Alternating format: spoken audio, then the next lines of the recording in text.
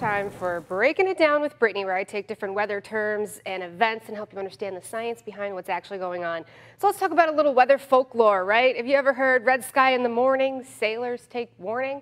What is that and is it true? So here's what's happening. The sun rises in the east, right? So as it does so, it has a long distance to go across. As a storm moves in, they usually come from the west, right? That's where all of our systems come from. So as the sun rises in the east, the light scatters and actually turns red. So it turns that cloud to red. That's what we actually see reflected back to us is a red sky in the morning, it means storms approaching.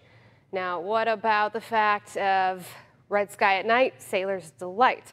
Well, yeah, the sun sets in the west, and as it does so, if a storm is leaving, it usually leaves us to the east, right? That's the storm movement away from us towards the east coast. So as the sun sets and the light scatters, it turns it red and reflects back to us. So as we break down that weather folklore, red sky in the morning, sailors take warning, red sky at night, sailors delight, it's actually mainly true. And you're going to see some of that as we head through this weekend. So I hope you learned something today. And that's it for Breaking It Down with Brittney.